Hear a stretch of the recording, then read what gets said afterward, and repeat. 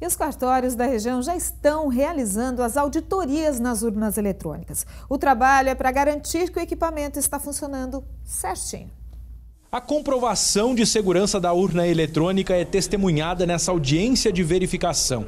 O procedimento obrigatório na reta final, antes da votação, é realizado na presença da juíza e do promotor eleitoral e representantes da OAB e dos partidos políticos.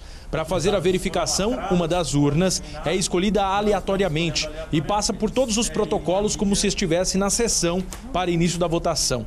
Depois, cada participante pode simular o voto para vereador e prefeito, legitimando o processo.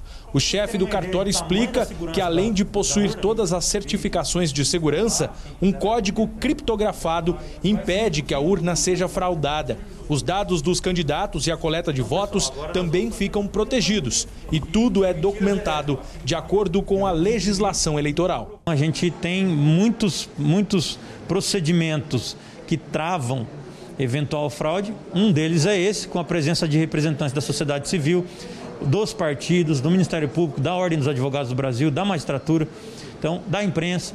Então vocês podem ver a lisura do procedimento e isso acho que é muito importante. Né? A urna, além de segura, possui um sistema de proteção de dados que armazena os votos. Como não possui conexão com a internet, não há meios para que ela seja hackeada. E para a apuração, os dados que ficam em cartões de memória são extraídos e enviados num sistema fechado para o Tribunal Superior Eleitoral. Além disso, ao final da votação, cada urna emite um comprovante com a contagem dos votos por candidato que fica disponível para o eleitor.